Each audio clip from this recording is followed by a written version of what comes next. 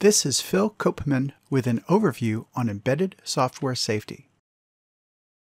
Every embedded system needs to be appropriately safe for its intended application. The issues that arise in software safety can often be quite subtle but deadly nonetheless. As an example, in September 2016, General Motors had to recall 4 million vehicles because of a software defect that caused a fatality in a 2014 Chevy Silverado truck. The defect involves the airbag unit going into test mode during vehicle operation. If the airbag unit happens to be in self test mode during a crash, the airbags do not inflate and the seatbelt pretensioners do not activate. This defect is especially tricky because its effects only appear when there's actually a vehicle crash.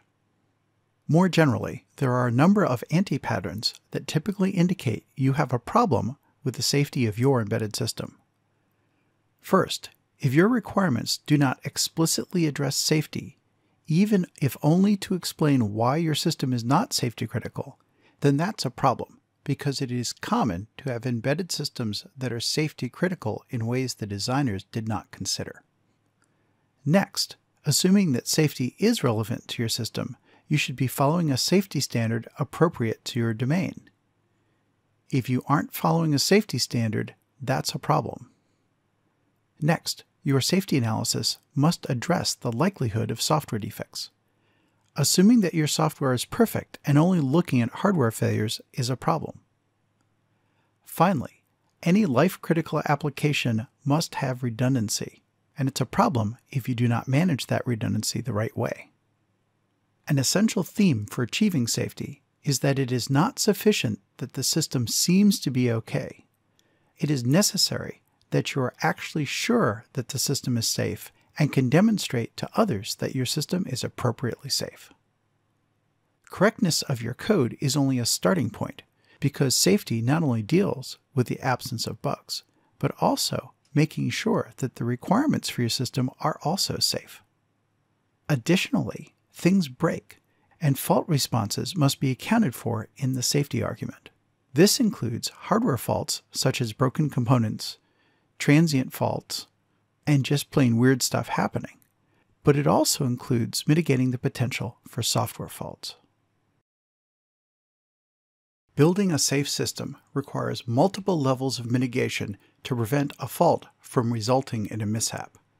This is often called defense in depth to begin with, it is important to avoid faults from occurring in the first place. This requires careful, methodical engineering of software and hardware to avoid defects entering into service. It also requires using robust hardware design techniques to avoid and tolerate hardware faults. There's no such thing as a perfect system, but it is important to use engineering rigor to ensure that faults that occur during operation are sufficiently infrequent to achieve your safety goals. Given that there will inevitably be runtime faults in a system, occasionally a fault will activate, meaning that it produces an incorrect state within the system. At that point, it is essential to have a way to detect and contain the fault so that it cannot do further damage. For hardware faults, it is common to use error correcting codes and redundancy. For software, it is common to use mechanisms such as watchdog timers and exception handlers. If an activated fault is not contained, it becomes a hazard, which is an unsafe system state that is a potential source of injury or damage. Systems typically use fail-safe strategies to mitigate hazards. For example, a system might perform a safety shutdown if it detects a hazard or a fail operational system might switch over to redundant backups to maintain safe operation. In an ideal world, a failsafe should never actually be needed. But the real world is a messy place and things go wrong, so failsafes are necessary to provide a level of safety protection beyond simple fault detection and containment when things eventually do go wrong. If a fault activates, and then becomes a hazard that also activates. The result is an incident. An incident is a situation in which the system is displaying an unsafe behavior. There may be incidents in which quick thinking on the part of an operator or just plain luck will result in an okay outcome. However, an incident has to be considered as an unsafe system event that requires revisiting the design and use of the system, even if it only happens once. The problem is, once an incident has occurred, the outcome is not under the control of the system or the system designers. Some fraction of the time, an incident will happen in an unlucky situation and there will be a mishap, sometimes called a loss event. With a mishap, the incident results in personal injury, death, significant environmental damage, an unacceptable business consequence, or some other loss that should never have occurred. The key to attaining safety is to avoid escalation along the path of fault activating to hazard, activating to incident, resulting in mishap, as much as possible. In other words, at each layer, it is important to mitigate all possible problems to the maximum degree practicable to make sure that the small amount of problems that inevitably escape from one level to the next are all taken care of before a mishap can actually occur. Achieving safety requires adhering to a set of accepted principles, such as those set forth in the 1994 Automotive Software Safety Standard from the Motor Industry Software Reliability Association, known as MISRA. First, safety must be seen to be present. It is not acceptable to just assume a system is safe until you find out otherwise the hard way. Rather, achieving safety requires presuming that the system is unsafe unless convincing evidence has been presented to demonstrate that it really is acceptably safe. As a practical matter, this means that someone from outside the development team must be able to look at a set of written documents and use that as evidence to determine that the system actually is acceptably safe. That set of documents can include things such as test results, but in the end, if it is not written down, it did not happen.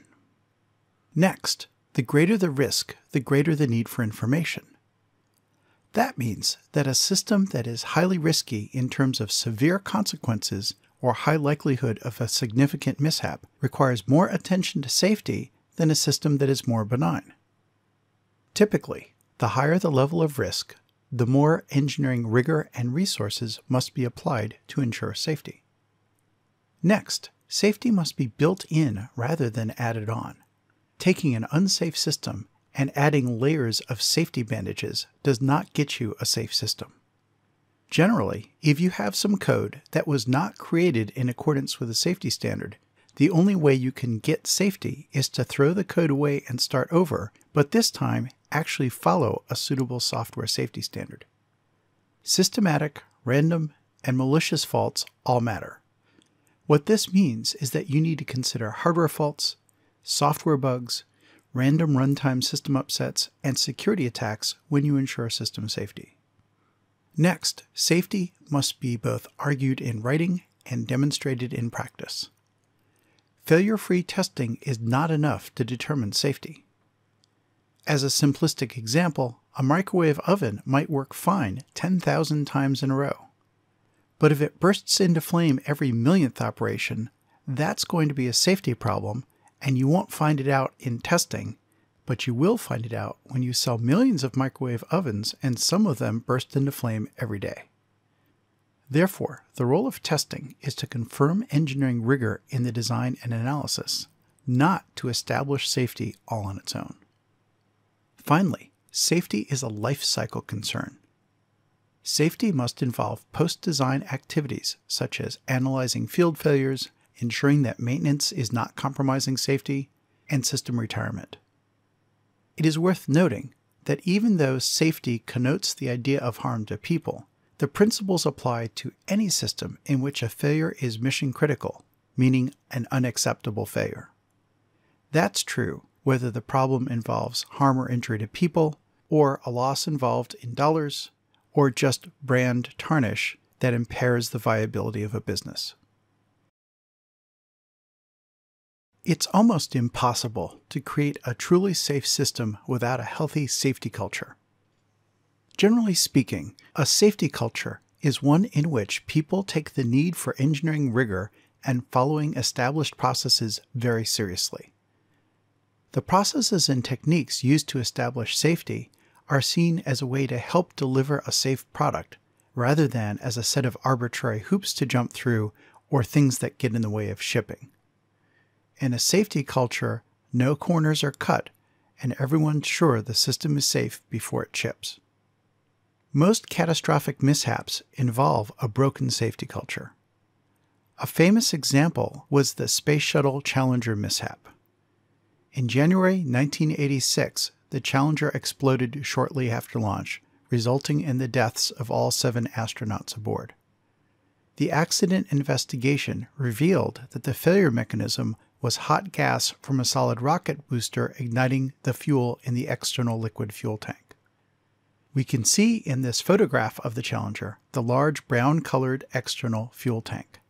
On each side of that tank are white solid rocket boosters that are built out of stacked segments.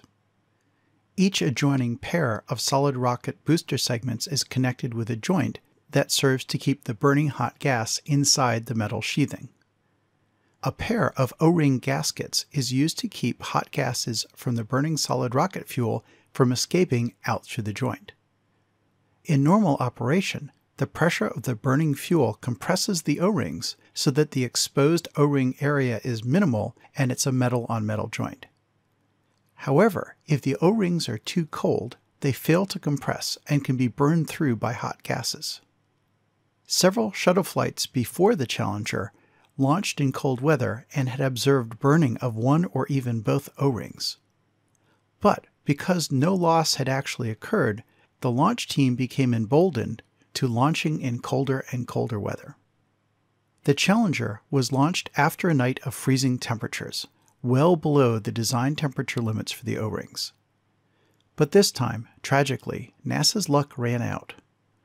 Hot gases burned through both O rings and formed a jet through the joint that ignited the external fuel tank, resulting in the loss of the spacecraft while the failed O rings were the immediate cause of the problem. At a deeper level, the failure was that the booster design team had to give permission to launch in cold weather. The engineers initially said it was too cold to launch. However, they were told by the management hierarchy that the launch would proceed unless they could prove it was unsafe to launch. This was difficult to prove because previous missions had gotten away with launching in unsafe conditions.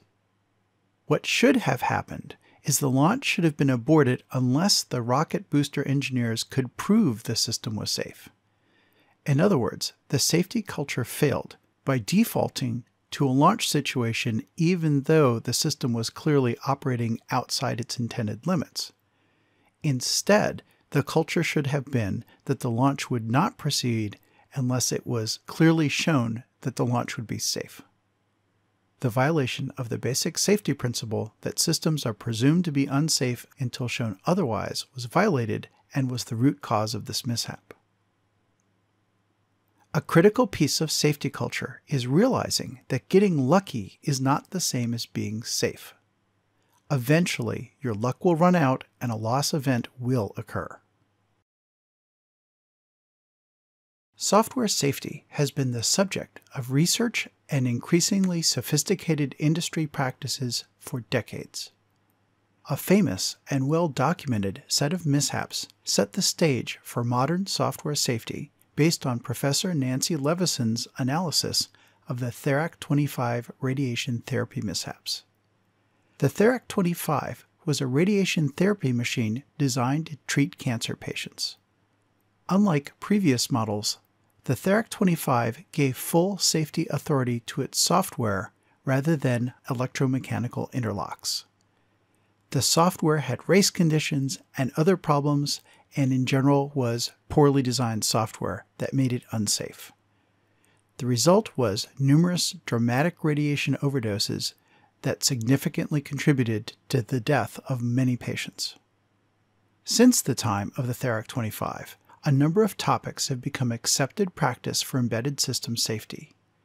These include using safety plans and safety standards, creating safety requirements, using critical system design techniques, ensuring dependability, avoiding single points of failure, managing redundancy properly, using appropriate isolation mechanisms, and following well understood safety architectural patterns. These topics will be discussed in the other safety training modules.